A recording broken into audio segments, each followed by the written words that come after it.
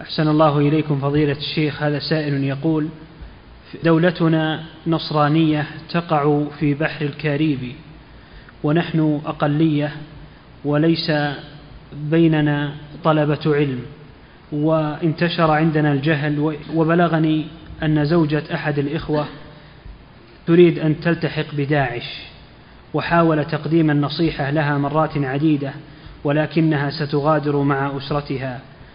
وهذا حالنا منذ زمن. يقول نحن أبناؤك نرجو منك النصيحة والتوجيه. نصيحة تمسكوا بدينكم وأمسكوا زوجاتكم وعلموهن وانصحوهن فإن قبلنا الحمد لله وإذا لم يقبلنا ولحقنا بأهل الضلال فطلقوهن ويغنيكم الله عنهم. نعم.